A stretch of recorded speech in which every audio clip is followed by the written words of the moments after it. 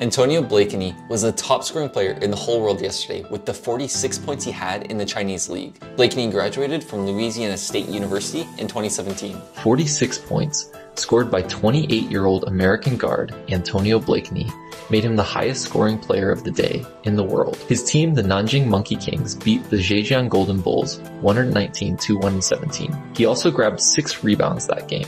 Blakeney is the second best scorer in the league, averaging over 31 points and almost 7 rebounds per game. Among many awards, he was selected to the Asia Basket All-Chinese CBA First Team in 2023. Blakeney was also the best scorer in the league last season, while he had played for the Challenge ALS when he scored over 32 points per game. He was also awarded Player of the Week in the Chinese League three times already this season. And that was yesterday's top scoring player in the whole world for basketball. Be sure to follow for more content. I'll see you tomorrow for another basketball video. Thanks for watching.